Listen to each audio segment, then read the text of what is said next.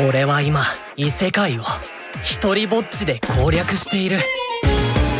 仲間がいた方がいいのは分かってる。でも誰にも口出しされない気ままな生活。何者にも代え難い。女子たちを探し出して襲うぞ。よし覚悟しとけよ。やっほぼっちか。まさか本当に異世界？みんなを助けに来てくれたんだよね。そんなこと言った覚えは一度も。嘘だしてる持ってね。殺さないでくれ。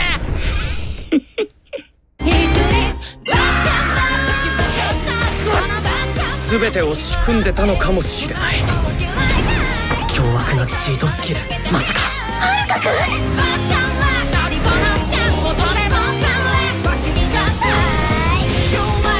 ぼっちにだって守るものはあんだよ。一人ぼっちの異世界攻略。2024年10月放送開始。